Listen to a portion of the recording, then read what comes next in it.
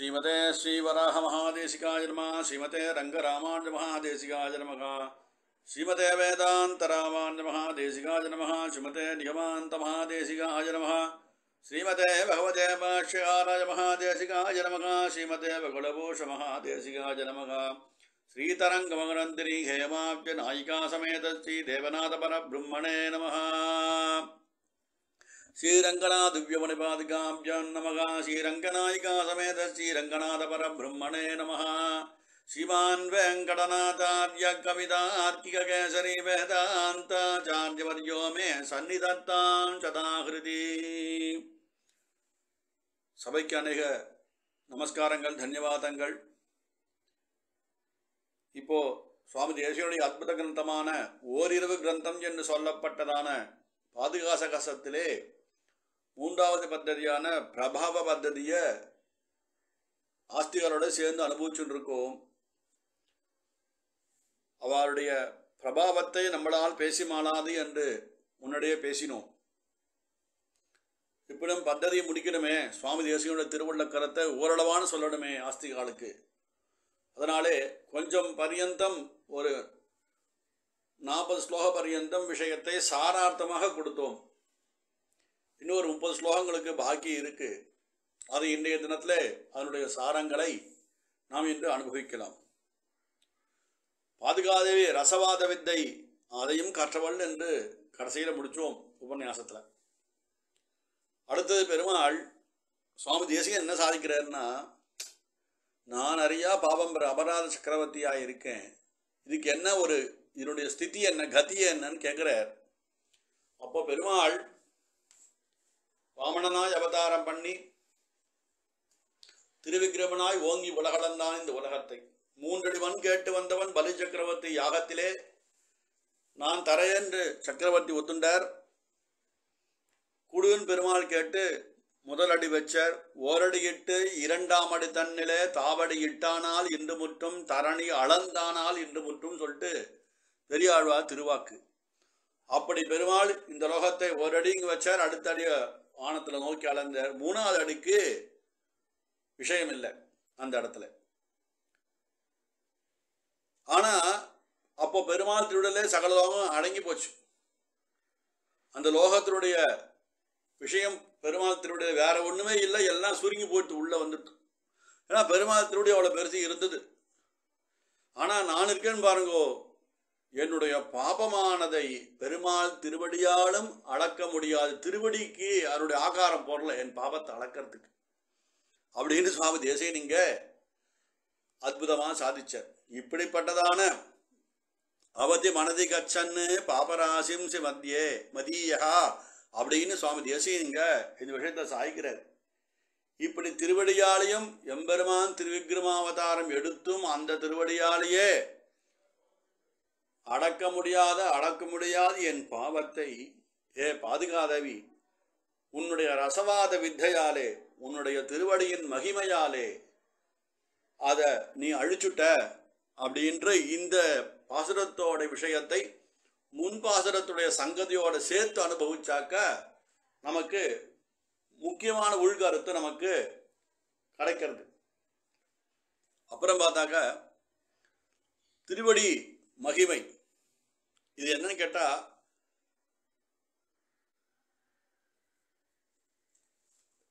ரொம்ப இந்த சொர்க்கத்தையும் நரகம் என்று நாம் உதாசீனப்படுத்தி மோட்சம்தான் முக்கியம்ட்டு நம்மளுடைய மனது போவதற்கு ஒரு ஹேத்து பண்றா இந்த பாதுகாதேவி இந்த இடத்துல.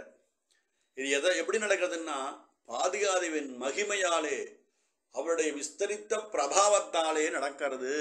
ஏன்னா பெருமாள் வந்து நமக்கு மோட்சம் கொடுக்கும்போது நம்முடைய புண்ணிய பாபத்தை அழிச்ச திருச்சின்னமாலை சுவாமி தேசியம் சாய்க்கும் போது அருளால விலங்கு இரண்டும் அழிப்பார் வந்தார். அஞ்சரையை கழித்தருளும் அன்பர் வந்தார். மருள்வாரா வகனம்மை காப்பார் வந்தார். வானேர வழிநடத்தி வைப்பார் வந்தார்.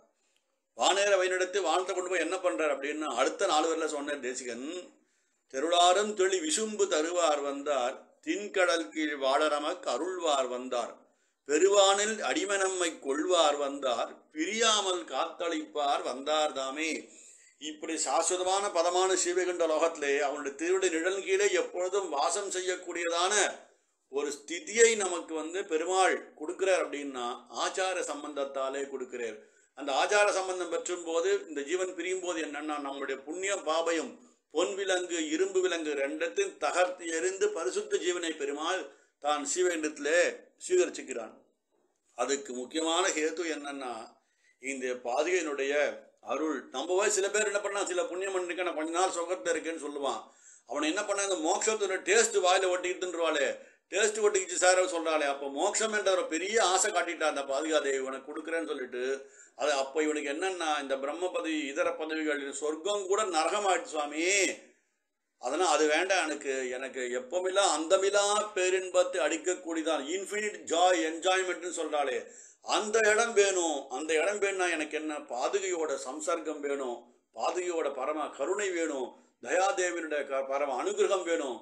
அந்த அனுகிரகத்தின் மூலமாக நான் அந்த பெருமாளுடைய சாஸ்வதமான பதமான மோட்சத்தை அனுபவிக்கிறேன். அந்த அனுபவிக்கக்கூடிய பாக்கியத்தை தட்டில் ஏந்தி நமக்கு கொடுக்கறது யாருன்னு கேட்டாக்கா சாக்ஷாத் பாதுகாதேவி அப்படின்றதால இந்த ஸ்லோகத்தை உள்கருத்தை கொடுக்குறார் சுவாமி தேசிகன்.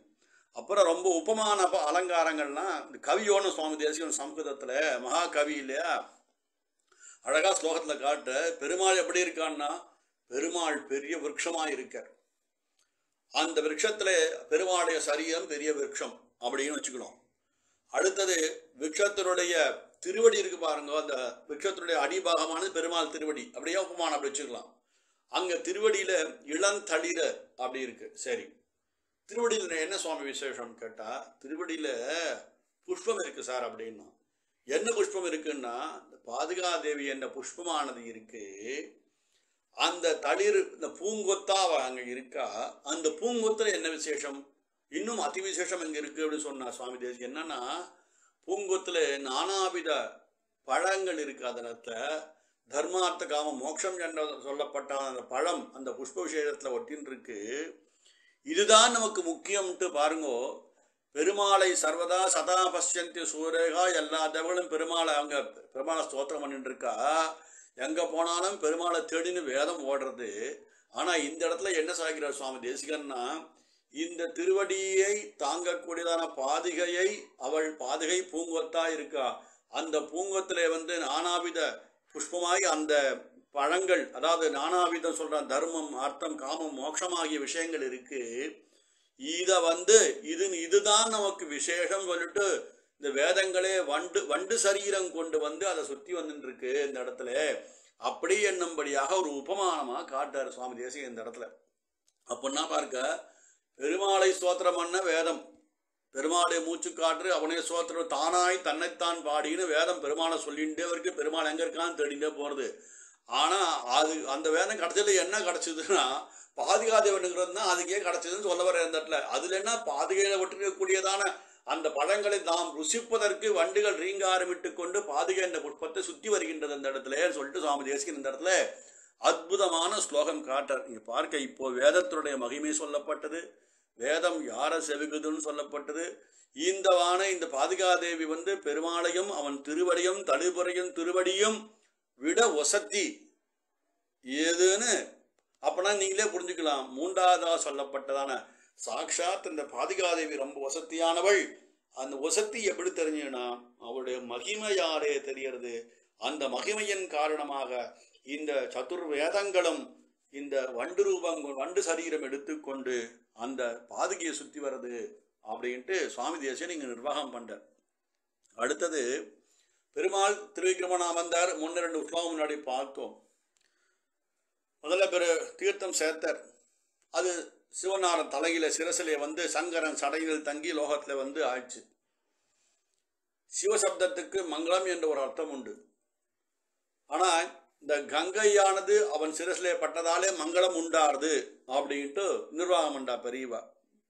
இப்போ நம்ம என்ன பண்றோம்? அப்படிப்பட்ட மங்களத்தை கொடுக்கக்கூடியதான திருவடியையே ஆசிரியக்கக்கூடியதான பாதுகை. அதை விட மங்க பரம பவித்திரம் பரமங்கடம் அதை நாம் சிரசா வகித்து நம் பாவத்தை போக்கிக்கிறோம். இது வந்து நிறைய நிர்வாகம் பண்றார் சுவாமி தேசிகன். இப்போ பெருமாள் என்ன பண்றார்? தான் பாதுக தரித்துக்கிறதுக்கு முன்னாடி தான் திருவடியே தான் சோதிச்சுண்டு அப்புறம் பரிசுத்தமான திருவடியை மட்டும் பாதுகை மேலே பண்ணுறேன்னா பண்றேன்னா திருவடியில ஏதாவது தோஷங்கள் திருவடிக்கு தோஷம் கிடையாது. யோயோ பெருமாள் கிருஷ்ணாவதா காட்டில் நடந்து போறேன் மேட்டில் நடந்து போகிற கண்ணுக்கு தூசி தும்புலாம் இருக்கும். அப்படி தூசி தும்போட பவித்திரமான பாதுகையை நான் வந்து சேர்த்துக்க மாட்டேன். என் திருவடியை சோதிச்சுன்னு பவித்திரமான பாதுகளை வைப்பேன். வச்சா என் திருவடியிலேருந்து துகள்கள்லாம் அதில் போவது அதை நான் ப- அதை நான் வந்து அசுத்தப்படுத்தக்கூடாது இல்லையா? அப்படின்னு யோஜனை பண்ணி பெருமாளே திருக்கிறவன் திருவடி அணமிட்டு பாதுகை சேர்த்துன்றதா இந்த இடத்துல வந்து ரொம்ப அற்புதமா தேசிகன் நிர்வகிக்கிறார் இந்த இடத்துல. எவ்வளோ எப்படி இந்த கவி வந்து எப்படிலாம் தன் கவிதா சாமர்த்தியத்தை காட்டுறா பாருங்க இதுல என்ன சுவாமி தேசிகன்? எவ்வளோ பெரிய கம்பீரம் கம்பீர காம்பீரியமானது பதப்பிரயோகங்களும் பரியாய பதங்களும் கொடுத்துருக்கேன்னு நம்ம வந்து இது வந்து சம்ஸ்கிருதத்தை ரசிக்கிறவாளுக்கு இது ரொம்ப புரியும். சம்ஸ்கிருதத்தில் கொஞ்சம் ஞானம் உள்ளவாளுக்கும் இல்லை சில் வேறு சில பேருக்கும் புரியும். யாரும் கேட்குறலா? பாதுகாதேவி மேலே யார் பரம பக்தியாக இருக்காளோ அவளுக்கும் சுவாமி தேசிகன் திருவள்ள கருத்து ரொம்பவே இனிக்கும். அதனால தான் பக்தி செலுத்துன்னு பெரியவா நம்ம சொன்னான். பக்தி பக்தி முக்கியமானதுன்னா வாயாலே பெருமாளை வாழ்த்துனை போத்தால வாழ்த்துவது தான் பக்தி இந்த இடத்துல. ராமராமன் சொல்லு கிருஷ்ணா கிருஷ்ணான்னு சொல்லு நிசம்மா நிசமொழிக்குமா சொல்லு பாதுகாதேவிக்குமா பாதுகா பாதுகான்னு சொல்லு எப்போதான மங்கள மங்களத்தையே சொல்லு. பெரிவா ஏன் சொன்னான்னா பக்தி வளரணும்னு சொன்னால் இப்போ பாதுகாதேவர் பக்தி இருந்தால் நமக்கு பாதுகாசம் நிச்சயமாக பிடிக்கும் இப்போ இவ்வளோ உபன்யாசம் கேட்குறமே சுவாமி இனிமேலாவது பாதுகாசத்தை ஒரு நாலு ஸ்லோகமான கத்துவோமே. கண்ணாலையான எழுத்த தடவி பார்ப்போம் புஸ்தகத்தில் கை வச்சு பார்ப்போமே. தேசிகன் எப்படிதான் எழுதிருக்கேன்னு பார்ப்போமேன்னு ஒரு எண்ணம் ஏற்படும் இல்லையா? இதெல்லாம் எப்போ ஏற்படும்னா பாதுகையை பெருமையை நம் மனசில் வாங்கிக்கும் போதும் பாதுகையை பெருமை பற்றி யாரா பாகவத்தால் பேசும்போதும் காதால் கேட்கும் போதும் நமக்கு அந்த பக்தியை பிரேரணான்னு பேர் சம்ஸ்கிருதத்தில். பிரேரணன்னா ஒரு விஷயம் இருக்கும் மனசுக்குள்ள ஆனால் அதுவாக வெளில வராது. ஒரு தூண்டி விடணும். விளக்கு திரி அப்படியே கிடுக்கிடு எண்ணெய் போக கீழே போகின்னே இருக்கும். திடீர்னு நல் நிறைய எண்ணெய் இருக்கும். ஆனால் திடீர்னு அணையம் பாரி திரி இழுத்துன்னு போகும் எண்ணெய். அப்போ என்ன பண்ணும்? ஒரு சின்ன குச்சி வச்சு அந்த திரியை நகர்த்தி விட்டாக்கா இல்லை திருகி விட்டாக்கா ஜுவாலை ஜாஸ்தியாக நல்லா பிரகாசமாக இருக்கு இல்லையா? அதே போல் ஒவ்வொரு சிவவிஷ்ணம் திருவள்ளத்தே பக்தி இருக்கு. ஆனால் அந்த பக்தியை எங்கே செலுத்தணும்? எப்படி செலுத்தணும்? சில பேருக்கு தெரியாமல் இருக்கா? அவளுடைய பக்தி வெளில கொண்டு வரத்துக்கு இது மாதிரி பகவத் பெருமானுடைய கதைகளையும் பாதகருடைய பிரபாவத்தையும் நாம் சொல்லும்போது அதாவது பிரேரணாங்க தூண்டி விடும்போது என்னன்னா அது அவ அதனுடைய ரியல் எசன்ஸை புரிஞ்சுண்டவா? நிச்சயமா அதில் பக்தி செலுத்தி நல்லவித புருஷார்த்தங்களை அடைவா என்பதுதான் ஆச்சாரியோட திருவுள்ள கருத்தா இந்த இடத்துல இருக்கு. அதனாலே இன்னும் அடுத்தது ரொம்ப சூப்பரான ஒரு ஸ்லோகம் போட்டார். சுவாமி தேசிகன். என்னன்னா இப்போ மகா வித்வத் சபை இருக்கு. பெரிய நாடு இருக்கு. ராஜா இருக்கான். ராஜா வரார் ராஜா வரான்னு சொன்னால் பார்த்தா ஒருத்தர் நடந்து வந்துட்டே இருந்தான். பார்த்தாக்கா இவர் ராஜாவா இல்லைன்னு எப்படி தெரியும்? இவர் அங்காடையாளம் இருக்கணும் ஒன்றும் பெருமாள் ஏண்டர் அப்படின்னு சொல்லும்போது பெருமாள் ஏண்டர்னா பரிவாரம் பெருமாளுக்கு முன்னாடி வந்து வே- மேளவாத்தியங்கள் பின்னாடி வேத கோஷம் முன்னாடி அழுச்சிகள் வந்து பரபல லைட்டு போட்டு பெருமாள் கைகால் கை கால் சாது சங்க சக்கரத்தோட இருந்தாதான் பெருமாள். இல்லையா? சங்க சக்கரத்தோட இருந்தாதான் பெருமாள். விஷ்ணுக்கு என்ன அடையாளம்னா சர்வத்தையும் ஒரு க்ஷணத்திலே நாசம் பண்ணக்கூடியதாகவும் சர்வ மங்களத்தையும் அழிக்க சுதர்சன ஆழ்வான் பெருமாள் வலது கையில் இருக்கணும். தன்னுடைய சங்கநாதத்தின் மூலமாக பாரத யுத்தத்தை நடத்தினான பெருமாள் பாஞ்சஜன்யத்தை பெருமாள் இடது கையில் சுவீகரிச்சிருந்தாதான் மற்ற கதாயுதங்கள் பஞ்சாயுதங்கள் மீதி மூணி விட்டுருங்கோ வில்வால் கட்டத்தை விட்டுருங்கோ.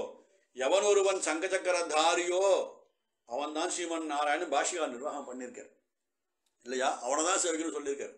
அப்போ ஒரு வித்வத் சபாவுக்கு ராஜா ஒரு ராஜ தர்பாருக்கு ராஜா வர ராஜா வரன்னு சுவாகத்தம் சொல்றவருடைய சேவனுடைய அவன் வார்த்தைக்கு திரும்பி பார்க்கும்போது உணவத்தன் நடந்து வரான்னா இவர் ராஜான்னு எப்படி கண்டுக்கிறது சுவாமினா என்ன ஐடென்டிஃபிகேஷன் கேட்பா ஃபஸ்ட்டு இப்போ யாராவது எக்ஸாம் ஆள் எக்ஸாம் எழுத போனால் வேறு சில ஐடென்டி கார்டும் கேட்குறானே என்ன ஐடென்டிஃபிகேஷன்னா வெறும் பட்டு கட்டின்னு வந்தால் மட்டும் போகிறேன் மந்திரியும் பட்டு கட்டிக்கிறான். அதுமாரி வந்து யு- யுத்தத்தில் இருக்கக்கூடிய பெரிய காரிதர்சியும் பட்டு கட்டிக்கிறான் நிதி அமைச்சரும் பட்டு கட்டின்னு வரான் ராஜாவும் பட்டு கட்டின்னு நிற்கிறான் யார் ராஜா சுவாமின்னா தலையில கிரீட்டம் எவனுக்கு இருக்கோ அவன் தான் ராஜா. செஸ் போர்டில் பார்த்தீங்கன்னா ராணி ராணி தான் பவர்ஃபுல்லாக இருக்கும் மந்திரி. பவர்ஃபுல்லாக இருக்கும். ராஜா என்ன பண்ணுவார்? அந்த செஸ் போர்டில் ராஜாவுடைய அந்த காயின் என்ன பண்ணும்? அது என்னென்னா உயரமாக இருக்கும் மேலே ஒரு அந்த வரிவட்ட மாதிரி ஒன்று போட்டுப்பான் இல்லையா? செஸ் போர்டில் பார்த்தீங்கன்னா தெரியும். இதை பார்த்த ராஜான்னு தெரியும். பிஷப்பை யாரும் ராஜான்னு சொல்றதில்ல. இல்லை எலிஃபெண்ட் யானை யார் ராஜான்னு சொல்றதில்ல இல்லையா? அது மாதிரி தனி ஐடென்டிஃபிகேஷனாக கொடுக்குற ராஜாக்கு. அப்போ அவர்தான் ராஜா நம்ம தெரிஞ்சுக்கிறோம் அந்த இடத்துல. அதை போல இங்க யார் அப்படின்னு கேட்டாக்கா பெருமாள் லோகத்தை படைச்சார். பெருமாள் சர்வ ரட்சகனாய் ஈரேழு பதினாலு லோகத்துக்கும் அதிபதியா பெருமாள் இருக்கான். அப்படிப்பட்ட பெருமாள் திருவடி ரொம்ப வசதி தழுதுபறையும் திருவடின்னு ஆழ்வார் ஆச்சாரியால் சொல்லிட்டார். இத திருவடியையும் லோகத்தை படைத்த பெருமாளையும் சகல லோகங்களையும் பெருமாள் திருவயிற்றுள்ளே சகல லோகங்களும் அடக்கம் ஆளுநிலை பாலகனாய் அந்த உலகம் உண்டவனே அப்படின்னு பெருமாள் அன்னைக்கு வந்து பிரளயத்தும் போது லோகத்தை சம்ரட்சிச்சான். வாலியை கொன்ற இளைய வானரத்துக்கு கழித்தவனே ராமாவதாரத்தில் பண்ணான். ஹீரண்ய சிசுபாலவதம் இதெல்லாம் கிருஷ்ணாவதாரத்தில் நடந்தது இது எல்லாத்துக்கும் பெருமாளுடைய திவ்யமங்கல விக்கிரகம். அதாவது சொல்லப்பட்டதானது பெருமாளுடைய அந்த சொரூபம் நிறைந்த விக்கிரகம் மங்கள விக்கிரகம் இல்லையா? இது மொத்தத்தையும் இந்த விக்கிரகத்தில் என்ன இருக்கு? சகல லோகமும் அடங்கி இருக்கு. பெருமாள் சகல லோகத்துக்கும் காரண காரியபூதராய் பெருமாள் இருக்கான். இல்லையா? காரணமும் காவலருமாக என்றும் கமலையுடன் பிரியாதனாதான் சுவாமி தேசிகன். அமிர்தாஸ்வாதின சாய்ச்சர். இப்படிப்பட்டதான் எல்லாம் உள்ளடக்குவேன் பெருமாள் அப்படிப்பட்ட பெருமாளை இந்த பாதுகாதேவி என்ற பெரிய அரசி தனக்கு ஆபரணமாக்கி தன் சிரசில் வச்சுருக்கா சுவாமி? கிரீட்டமா வச்சுருக்கா அப்படின்னா என்ன இவளல்லவோ சகல லோகத்துக்கும் ஒரு ராஜாத்தியா இருக்கா அந்த இடத்துல? இல்லையா? அப்போ நான் இப்போ இப்படி விஷுவலைஸ் பண்ணுங்க நீங்க. இவ பேரரசி. பாதுகாதாவி பேரரசி. அரசின்னு எப்படி ஐடென்டிஃபிகேஷன் சுவாமி? தலையை கிரீட்டம் வேணுமா வேண்டாமா? வேணும் சுவாமி. யாரை கிரீட்டமாக வச்சுருக்கான்னா யாதொருவன் சகல லோகத்துக்கும் அதிபதியோ யாதொருவன் திருவேற்றே சகல லோகங்களும் வந்து பிரளயகாலத்தில் லயமடைந்ததோ யாதொருவன் சகல பாப நிவர்த்தகத்துக்கும் மங்களகரமாய் இருக்கானோ யாதொருவன் முப்பத்தி ரெண்டு சில்பான அவதாரங்களை செய்து நமக்கெல்லாம் சேட்டிதங்களாலே ராமநாதன் கிருஷ்ணனாயும் தானே மனித ரூபத்திலே வாழ்ந்து காட்டி லோகம் தர்மம் ஈதான் சர்வ தர்மான் பரித்தர்த்திய மாம் ஏகம் சரணம் பிரஜ. அகம் தா சர்வ பாபேபியோ என்று சனாதன தர்மமான சரணாகதி சாஸ்திரத்தை நமக்கு கொடுத்தானோ? எவனொருவன் பிராட்டியினிடத்திலே வந்து இந்த இந்த ஜீவன்லாம் ரொம்ப கஷ்டப்பட்டு இருக்க உபாயம் பண்ணக்கூடாதான் சொல்லும்போது தான் வராக அவதாரத்திலே இந்த துவயமந்திரத்தின் விவரணத்தை பிராட்டிக்கு உபதேசித்தானோ? எந்த பிராட்டி?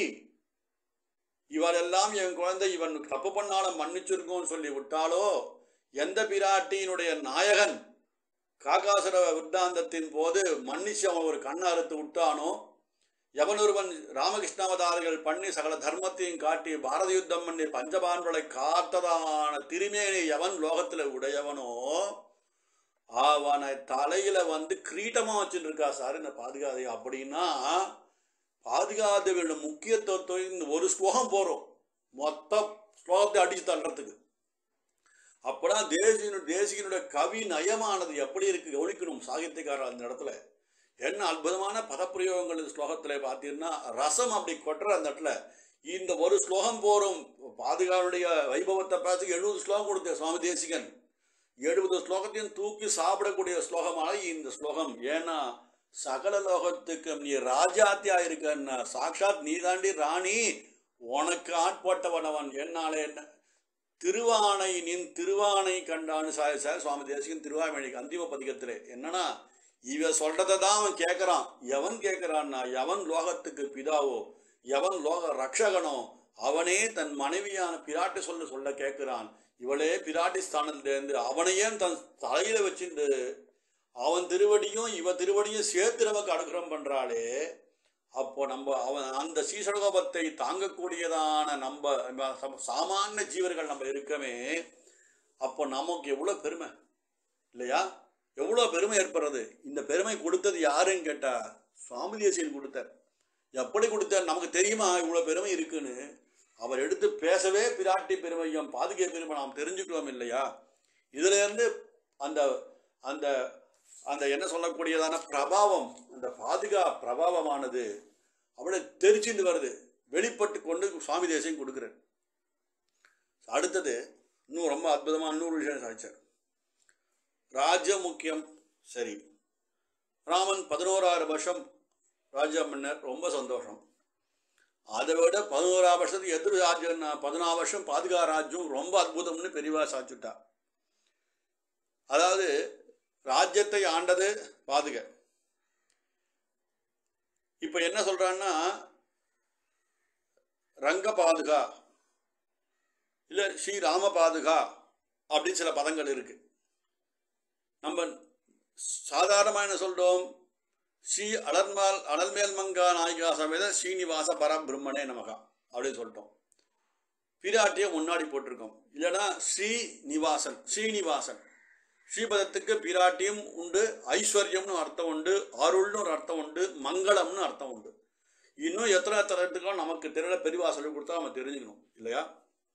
இப்போ அது என்ன சார்? ஸ்ரீராஜ்யம் சார் அப்படின்னு சொல்லிட்டா அது வந்து கொஞ்சம் இழப்பமாக இருக்குன்ற லோகத்தில் ஒரு திருஷ்டி இருக்கு. அதான அநாயகம் பகுநாயகம் சிசுநாயகம் ஸ்ரீநாயகம் இவெல்லாம் லோகத்தில் சரியில்லைன்னு பெரியவா ஒரு சாஸ்திர வகுத்து வச்சிருக்கா. பிராட்டி பாதுகாதேவியான பிராட்டி பார்க்க அந்த இடத்துல தான் வந்து லோகத்துக்கு பெருமானே கிரீடமா வச்சுட்டோன்னு கர்வம் கொள்ளல. எது சாஸ்திரம்னு பெருமாள் கொடுத்தோ அதையும் தான் அனுஷ்டிச்சு காட்டுறா அந்த இடத்துல.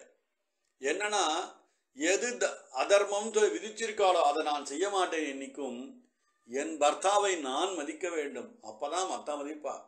பாதுகாதவை பெருமாளுக்கு ஒரு உயர்ந்த போகத்தையும் போக்கியத்தையும் கொடுத்தாதான் சாமானியமான நானும் இந்த ரங்கநாதனை போய் சேவிக்கணும் எண்ணம் எனக்கு வரும் இல்லையா? அதனால பார்த்தா வெறும் பாதுகா அப்படின்னு சொல்லாம ரங்க பாதுகான்னு முன்னாடி பெருமாளை முன்னாடி போட்டான் இல்லையா?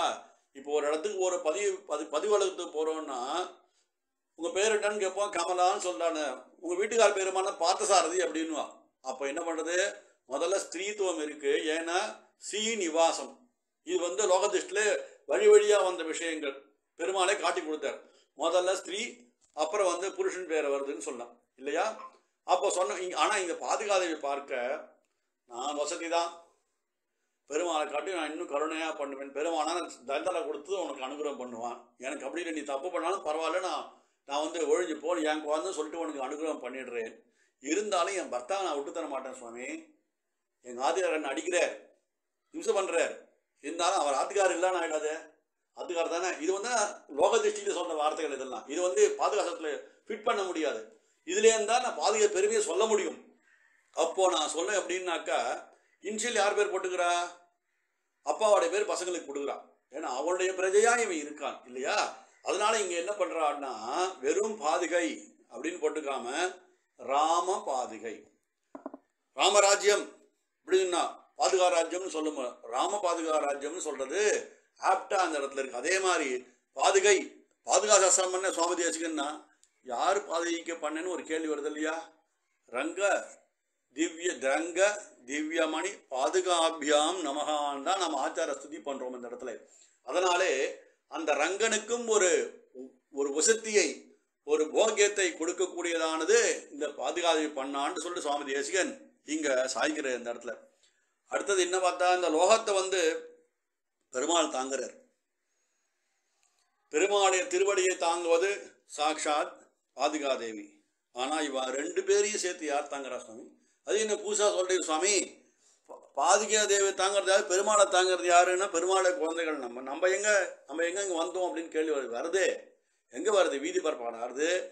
ஆஸ்தானத்தை பெருமாள் எழுதியிருக்கார். அப்போ போய் என்ன பண்றோம் அப்படின்னா சடகம சாட்சிக்கிறவன் சுவாமி. பாதுகா தேவி தான் நம்ம தள்ள சிறசாக வைக்கிறோம். அப்போ பார்க்க பெருமாள் நுகத்தை தாங்கினா வசதி. சரி அந்த பெருமாளை பாதுகாதேவி தாங்கிற அவ பெருமாளோட பாதுகாதேவி வசதி. இவா ரெண்டு பேரையும் சேர்த்து என் தள்ள வைக்கிறாளே தூக்கி அது அனுகிரகம் என்ற வைக்கிறாளே கொண்டு என் தலையில் வந்து நான் சடகை சாய்ச்சிக்கிறேன்னு சொல்ல சொல்லல பட்டரை சாய்க்கிறேன் சுவாமி அப்படின்னு சொல்லும்போது இவா ரெண்டு பேரும் சேர்ந்து தான் சடகோபத்தை எழுதிருக்கா அப்படிதானே அப்போது? அப்போ அவ ரெண்டு பேரையும் நான் தானே நம்ம தானே சாமானிய மனுஷா நம்ம தானே நாளைக்கு கழியக்கூடிய நம்ம தானே பெருமாளை தள்ள வச்சுருக்கோம் இருக்கோம் தள்ள வச்சுருக்கோம். அப்போ நம்ம வசதி இல்லையா அந்த இடத்துல? என்னதான் ஒரு பரம் சொன்னாலும் பாகவத பெருமையை காட்டும்படியான ஸ்லோகமா?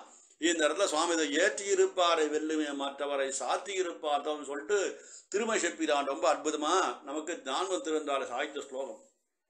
அடுத்து இன்னொரு இடத்துல காட்டினார் சுவாமி தேசிக இன்னொரு ஸ்லோகத்தில் நித்திய சூரி இருக்கா? நித்திய சூரியில தாரதமியம் கிடையாது. பெருமாள் யாரு மேல வேணும் அக்ஷதம் போடுவார். அவ சீகாரியமா இருக்கலாம் விசுவக்கணதா இருக்கலாம்.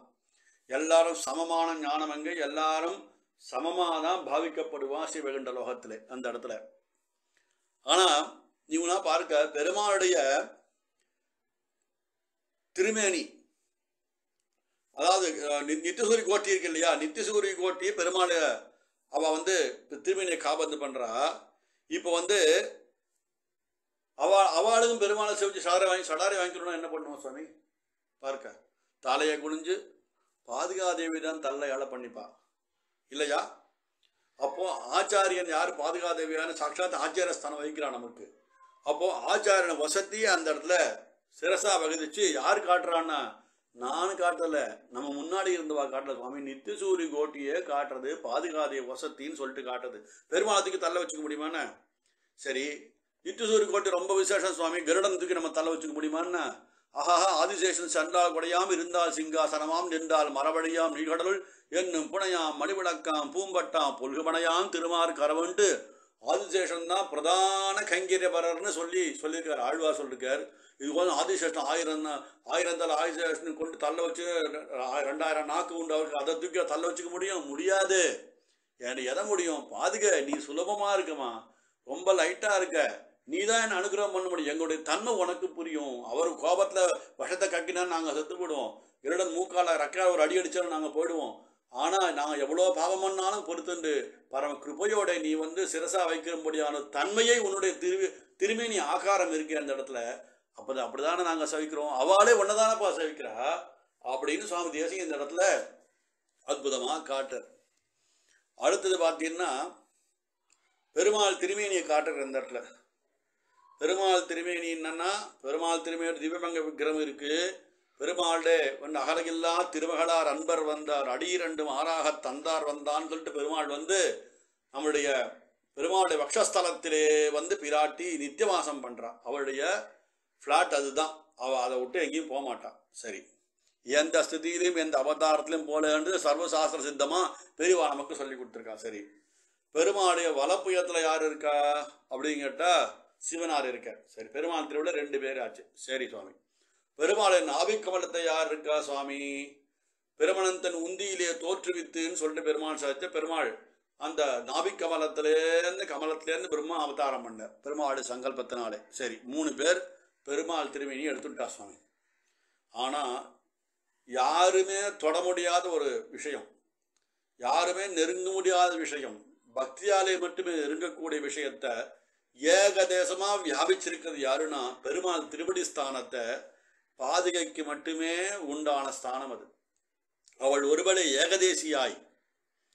பாதுகையை ஒருவளே ஏகதேசியா பெருமாள் திருவடி எத்தனை காலை இது எப்போ இதை ஆச்சார காட்டா நமக்கு தெரியுது பாருங்க. எப்படி யோசிச்சிருக்க சுவாமி தேசிகன் பார்க்க கவிநயத்துல பெருமாள் திருமணி ஆமா அப்பா ஒரு பக்கம் அவள் எடுத்துட்டா இன்னொன்று சிவனார் எடுத்துட்டார். பிரம்மா வந்து தொப்புள் பதிக எடுத்துட்டார் சுவாமி. திருவடி இருக்கு. திருவடிக்கு எங்கேயும் போட்டி கிடையாதே. பக்தால் வந்து பெருமாள் திருவடி சேவிக்கணும்னு ஆசைப்படுவாது திருவடியை ஸ்பரிசிக்கிறதுக்கும் நமக்கு எந்த யோகியதையும் கிடையாது. ஆனால் ஏகதேசமான பெருமாள் தலைவரையன் திருவடியன் தலைமையிலவே என்னும்படியாக இந்த பாதுகாதேவியான பிராட்டியானவள் தான் ஒருவனே எடுத்துக்கொண்டாள் அந்த இடத்துல. அப்போ அவளோட பெருமையானது என்ன? ஏகதேசமாக பெருமாள் பிரதேசம் அவளுக்கு கொடுத்துதான்னு அர்த்தம். இல்லையா? மற்ற திருமேனி எல்லாம் போட்டி இருக்கு அவளுக்கு. எல்லா பாகத்துக்கும் பங்கு இருக்குது இது வந்து ஏகதேசமாக பெருமா? அவள் எடுத்துட்டான் அந்த இடத்துல. அடுத்தது சுவாமி தேசிகன். ரொம்ப ஏன் இவ ஏகதேசியா இருக்கவே தான் எல்லாரும் திருவடியை நோக்கி போறா. அந்த அனுகிரகம் கிடைக்கும்னு எதிர்பார்த்து போறா. அந்த அனுகிரகம் கிடைக்கும்னு எதிர்பார்த்து போறா. இவா மூணு பேருமே என்ன பண்றான்னா அப்படின்னாக்கா இத்திருவடிக்கு தான் பிராதானியம் சொல்லி ஏன்னா மத்தை இளமகள் பிடிக்கும் மெல்லடியேன்னு சுவாமி நம்மாழ சாய்ச்சார். கேட்டாரு அப்பா பிராட்டி உனக்கு திருவடி கைங்கரியம் பண்றாளே எனக்கு கிடைக்குமா? இந்த கைங்கரியம் எங்க கிடைக்கும் நான் யூடியூப்ல கிடைக்குமான்னு கேட்டேன் நம்மாழ்வார். பெருமாளை பார்த்து கேட்கிறார் கொழிவினை படைகள் வெள்ளையாய் அவரக்கிட வசுரர்கள் கிடசை கடிவிடுதஞ்சே என்னுடைய மதே கடிவயல் திருப்பிளைங்குடியாய் வடிவினை எல்லாம் மலர்மகள் மற்ற இளமகள் பிடிக்க மெல்லடியை கொடிவினை ஏனும் எவ்வளோ பாவம் பண்றிருக்க நிலமகளும் அந்த ஐஸ்வர்யத்துக்குண்டான ஸ்ரீதேவியும் உன் திருவடியை பிடிக்கிறாளே. கொடிவினையும் பிடிக்க நீ ஒரு நாள் கூவுதல் வருதல் செய்யாயே. என்னை கூப்பிடு. கூட்டு உன் சன்னதி கூட்டு கைங்கரியம் கொடு. இல்லைனா நான் கைங்கரியம் பண்ணுக்கு நீ ஏன் இடத்துக்கு வான்னு பெருமாளை கூப்பிடுற? சுவாமி நம்மாழ்வார். அப்போ அவள் எல்லாம் எதை பிடிக்கிறா சுவாமி? திருவடியை பிடிக்கிறா. பிரம்மா என்ன பண்ற? பெருமாள் திருவடியை சேர்க்க திருவடிக்க பெருமாள் தீர்த்த சேர்க்கிறார் பெருமாள் திருவடியிலே பட்ட தீர் பிரம்மனால் சேகப்பட்ட பெருமாள் திருவடியிலே பட்ட பெருமாள் திருவடி சம்பந்தி சே- அந்த கங்கா ஜலத்தை சிரன் சிரச வைக்கிறார். இது எல்லாவிடையும் பெருமை இப்பேற்பட்ட பெருமாளை தாங்குவது யார் ஏகதசமாய் தாங்குவது யாரு அப்படின்னா சாட்சாத் பாதுகாதேவி இப்போ இவ எல்லாரை விட இவரானே வசதி இந்த இடத்துல அப்படின்னு சுவாமி தேசிகன் ஏகதேசத்தை இது காட்டுற இந்த இடத்துல. அடுத்தது இந்த பாதுகையை சேவிப்பதால் என்ன பலன் சுவாமின்னா தன்யாக முகுதல்ய செபதானுஷங்காம். தனியதாயன சமச்சிதாத்வம் வாசஸ்வதியோ மணிபாதரக்ஷே அப்படின்னு சொல்லிட்டு காட்டுறார். அதுக்கப்புறம் என்ன சொன்னேன்னா இந்த பாதுகாதேவியானவள் சகல ஐஸ்வர்யத்தையும் கொடுக்கக்கூடியவள் தான் ஐஸ்வர்யம்னா என்னன்னா நாலு ஆசைப்படுறது ஐஸ்வர்யம். நம்ம என்ன கேட்போம்? நாளை காத்தா வைகுண்டத்தில் கொண்டு நான் இருக்கணும்னு சொல்லுவோமான தேக அவசானத்தின் போது பெருமாளை கொடு அது வரைக்கும் லோகத்தினுடைய நான் இன்ப துன்பங்களை அனுபவிச்சுக்கிறேன் நான் பெருமாள்கிட்ட பிரதிஜை பண்ணிட்டோம். அதனால தான் ஆச்சாரட்ட நாம் சரணாகதி பண்ணோம் இல்லையா? ஆனால் இந்த பாதுகையினுடைய சேவிப்பதை என்ன கிடையாது? பெருமாள் திருவடி அடைந்து சகல சம்பத்துக்களையும் அடைந்த உன்னை. இந்த பணத்தை அபேட்சிக்கிறாளே எனக்கு தனம் வேண்டும் தானியம் வேண்டும் சொர்ணம் வேண்டும் ரஜதம் வேண்டும் கேட்கிறாளே. அப்படிப்பட்டவா எல்லாரும் யார் சில விஷயங்களை நானாவித புருஷார்த்தங்களை அபேட்சித்து கேட்கிறாளோ பக்தியோட கேட்கிறாளோ எவர் ஒரு பாதுகையை பூ பாதுகையை பூஜிக்கிறாரோ அவளுடைய வீடுதோறும் குபேரனுடைய வீடு மாதிரி ஆகும்ட்டு சுவாமி தேசிகன் சாய்க்கிற இந்த ஸ்லோகத்தை. லக்ஷ்மியுடைய பரிபூர்ண கடாட்சம் ஆனது லக்ஷ்மி லக்ஷ்மியா சம்பந்தத்தாலே அலகாமபீனா குபேரனுடைய பட்டணத்தையும் அந்த ஸ்தானத்தையும் நமக்கு கொடுத்துருவார். சில சமயங்களில் இந்த விஷயமானது எழுப்பமாக தெரியும் நமக்கு. புருஷார்த்தமானது எதுன்னா பெருமாள் பக்தி செலுத்தி வைகுண்டத்துக்கு போனோம். ஆனால் இப்படிப்பட்ட ஆஸ்திகால் சில பேர் இருக்காளே அவளுக்கும் இந்த குபேர பட்டணத்தை கூட அனுபவ அனுகிரகம் பண்ணக்கூடியதான ஒரு சக்தியானது இந்த பாதுகாதவை இருக்குன்னு சொல்லிட்டு இந்த பாதுகை பிரபாவ பத்ததியை சுவாமி தேசியன் காட்ட இடத்துல அடுத்தது பார்த்தாக்கா யார் சுவாமி வேணும்? அவங்ககிட்ட எனக்கு யாரும் வேண்டான்னர் மதுரகவி ஆழ்வார். யார் தான் சுவாமி வேண்டும்? எனக்கு யாரும் வேண்டான்னர் ஆனால் யாரோ ஒருத்தர் நமக்கு வேண்டுமேன்னா தேவு மற்றறியன்னு சாய்ச்சார். யாரு தேவுன்னு கேட்டால் சுவாமி நம்மாழ்வார் ஒருவரே எனக்கு உஜ்ஜீவனம் சொல்லிட்டு பெருமாள் வந்து கிட்ட வந்தாலும் பெருமாளை சேவிக்க மாட்டாரா? மதுரை ஆழ்வார் திரிதந்தாகிரம் தேவபிரானுடை கரியகோல திருவுருக்கான் பண்ணான்னு சொன்னார். கிருஷ்ணன் வந்து மதுரை பக்கத்துல இருந்து விழு விளையாட்டு காட்டுவானாம். என்ன இந்த இந்த பாப்பா என்ன பார்க்கலாதாரு இது இது என்ன பார்க்காதா? பார்க்க நம்மாட பக்கத்திலே உட்காந்து பூஜிச்சுட்டு இருக்கு என்னை பார்க்கவே மாட்டேன் நான். தான் லோகநாயகன். என்ன பார்த்தாலும் இவன் ஆச்சாரியனை பாடிட்டு இருக்கார் நானே ஆ- யார் யாரு நாயகனோ நானே வந்திருக்கேனே அப்படின்னு பண்ணா தள்ளுவாரன் கையில் இந்த பக்கம். ஏன்னா தேவு மத்தரியன்னு சொல்லிட்டார். திரிதந்தாகயம் தேவபிரானுடை. கரியகோலனான கிருஷ்ணன் வந்து கரியகோல திருவுருக்கான் பண்ணான் அப்படிப்பட்டவன் வந்தாலும் சுவாமி நம்மாழ்வாரை எனக்கு சகல உஜ்ஜீவனம் காட்டியவர் சுவாமி. மதுரவியாழ்வார் இல்லையா? ஆனா இப்போ இப்போ இந்த இந்த சீனை அப்படியே இங்கே கொண்டு வாங்க பாதுகாதேவிட்ட என்னன்னா ரங்கநாதன் இருக்கார். பாதுகாதேவி இருக்கா? யாரு சுவாமி வேணும் அப்படின்னு கேட்டாக்கா ரங்கநாதன் தூக்கி தல்லையா சுவாமி வச்சுக்க முடியும் பாதுகாதேவி தான் சுலபம். டக்குன்னு தலை தலை கொஞ்சோடனே அவளே வந்து உட்கார்றா சுவாமி. அப்போ அனுகிரகம் பண்ணுறது யார் எனக்கு? ரங்கநாதனா பண்றார் இல்லை பாதுகாதேவி பண்ணுறா அதனால தேவு மத்தேரி என்ற பசத்தை இங்கேயும் போட்டு ரங்கநாதனே வேணா சுவாமி ரங்க பாதுக போகிறோம் சுவாமி. அவள் எனக்கு போகிறோம் அந்த தேவி போகிறோம் எனக்கு. அப்படின்னு சொல்லக்கூடிய ஸ்திதி இருக்குன்னு சொல்லிட்டு சுவாமி தேசிய நீங்கள் எடுத்து கையாள அந்த இடத்துல. அதாவது பெருமாள் வேண்டாம் பாதுகா போகிறோம் அப்படின்னு அர்த்தம். பாதுகாதவனுக்கும் பெருமாளுக்கும் சுயமே அதுவே ஆகதம் உள்ளே வந்துடும் அது. நமக்கு அனுகிரகம் வந்துடும் இருந்தாலும் பிரத்யமாக நாம் கை நீட்டி இவாளை கை கூப்பிட்றது யாருன்னா பாதுகாதையவே கை கூப்பிட்றோம் இந்த இடத்துல சொல்லிட்டு இந்த கடைசியில் தொண்ணூத்தி எட்டாம் ஸ்லோகத்தை சாதிக்கிற அடுத்தது இன்னும் பார்த்தா பெருமாளை சேருவது எப்படி? அப்படின்னு காட்டுற அந்த இடத்துல. பெருமாள் இருக்கார். பெருமாள திவ்ய சரணாரவிந்தங்கள் இருக்கு. இந்த சரணாரவிந்தங்களுக்கு அடுத்ததான சரணாரவிந்தங்களை தாங்கக்கூடியதான பாதுகாதேவி பாதுகா சாத்தின் இருக்கார். அதுக்கு கீழே நமக்கு அவள் இவா மூணு பேரையும் சேவிக்கக்கூடியதானது ஜீவாத்மாக்கள் லோகத்தை சஞ்சரிச்சுட்டு இருக்கு கர்ம வினையால. இல்லையா? இப்போ இந்த ஜீவன் ஜீவனுக்கு உத்தேசப்பது பெருமாள் திருவடி உத்தேசம். ஏய் பெருமாள் திருவடியை பார்த்து சேவிடா எப்போ போனாலும். அது அனுகிரகம் பண்ணும். நானாவித புருஷார்த்தங்களும் பெருமாளுக்கு தெரியாம பெருமாள் திருவடி கொடுத்துருமா? பெரியவா சொல்லியிருக்கா நமக்கு. அப்போ இந்த புருஷார்த்தங்களை வேணும்னா திருவடி உஜ்ஜீவனம் இல்லையா? பெருமாள் திருவடிக்கு போயிட்டார். பெருமாள் சாஸ்வதமான விஷ்ணுலோகத்துக்கு போயிட்டார். ஆச்சாரியன் திருவடியை அடைந்தார்னு தான் போடுறா. அப்போ திருவடி உத்தேசம் காட்டுறது இந்த இடத்துல இல்லையா? சரம பத்திரிக்கை எழுதும்போது ஆச்சாரன் திருவடியை பரமபதிச்சுட்டார். ஆச்சாரன் திருவடி அடைஞ்சார்னு சொல்லி போடுறா இல்லையா? அப்போ பரமபதமானது ஆச்சார ஸ்தானத்திலிருந்து கிடைக்கும்.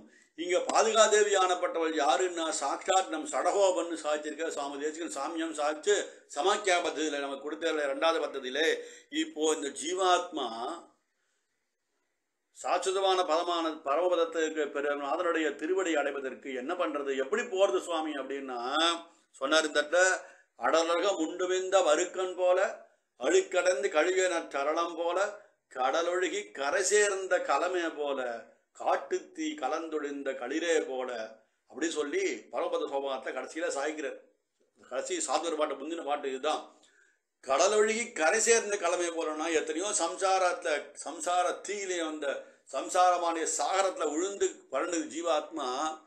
இது எப்படி போய் அந்த பெருமாள் திருவுடைய அடைய முடியும்? அதுக்கு ஒரு களமாய் ஒரு பாலமாய் இருப்பது யாருன்னா சாக்ஷாத் இந்த பாதுகாதேவி தான் இருக்கான. கடல் ஒழுகி கரை சேர்ந்த கலமையை போலன்னா ஒரு கப்பலா இருக்கா சுவாமி? ஒரு சேது பந்தனம் பந்தனம் பண்ணதால் இங்கேருந்து ராமன் அங்கே போய் பிராட்டியை கொண்டு வந்தான். பிராட்டியாக அந்த மகாலட்சுமியை கொண்டு வந்தார். இங்கே கஷ்டப்பட்டு ராமன். இந்த ஜீவாத்மா நான் கஷ்டப்படுறது சுகமடைனா என்னும் பெருமாள் திருவடி கிடைக்கணுமே. அதுக்கு யார் எப்படி கிடைக்க என்ன ஒரு உபாயம் பண்ணணும்? ஆச்சாரியாளாகிய நம்முடைய பரம்பரையில வந்தவா கிடைக்கணும். அவா யாருன்னா? நம் சடகோபன் சொன்னா சடகோபன் யாருன்னு சொன்னாக்கா சாக்ஷாத் பாதுகாதேவி. பாதுகாதேவியாகப்பட்டவள் இந்த ஜீவாத்மாவையும் பெருமாளையும் சேர்த்து வைக்கும்படியான ஒரு கரை சேர்ந்த கலமே போல ஒரு கப்பலாகவும் ஒரு பாதமாகவும் ஒரு பந்தனம் பண்ணி ஜீவாத்மாவுக்கும் பெருமாளுக்கும் ஒரு பந்தனத்தை ஏற்படுத்தி நமக்கு வைகுண்டத்திலே போய் நித்தியானுபோதத்தை அனுபவிக்கும்படியான ஒரு பாக்கியத்தை இந்த பாதுகாதேவி அற்புதமாக கொடுத்திருக்கான்னு சொல்லதான் சுவாமி தேசிக்கு இந்த பிரபாவ பத்ததியிலே பாதுகையுடைய பிரபாவத்தை ரொம்ப அற்புதமாக சாதிச்சிருக்கார் அதாவது இது அடியே இந்த ஒரு மணி காலம் நேற்று ஒரு அரை மணி நேரம் சொன்னேன் இன்னைக்கு ஒரு முப்பத்தஞ்சு நிமிஷம் சொல்லியிருக்கேன். இது வந்து ஒரு கோடு தான் போட்டிருக்கேன். ஒவ்வொரு ஸ்லோகத்தையும் தனித்தியாக தனித்தனியாக நம்ம ஆராய்ந்து பார்த்தாக்கா இந்த பிரபாவத்தை சொல்லி மாளாது. இருப்பினும் உபன்யாசம் பண்ணேன்னு ஒத்துட்டனே ஒத்து சேரில் வந்து உட்காந்துட்டு சொல்கிறேன்ட்டு அதனால் ஏதோ சொல்லணுமோ ஆச்சாரியால் சொன்னதை ஒரு கோடு போட்டு காட்டிருக்கேன். பாகவதால் வந்து தப்பு இருந்தால் மன்னிக்கணும். அதனாலே அந்த பாதிகளுடைய பிரபாவத்திலே பிரபாவத்தின் மூலமாக சகலருக்கும் சகல க்ஷேமங்களும் உண்டாக வேண்டும் என்று பிரார்த்திச்சுன்னு இந்த பദ്ധதியை பூர்த்தி செய்கிற நடிகன் கவிதார்க்கிக சிம்மாய கல்யாண குணசாலினே ஸ்ரீமதே வெங்கடேசாய வேதாந்த குரவே நமஹா.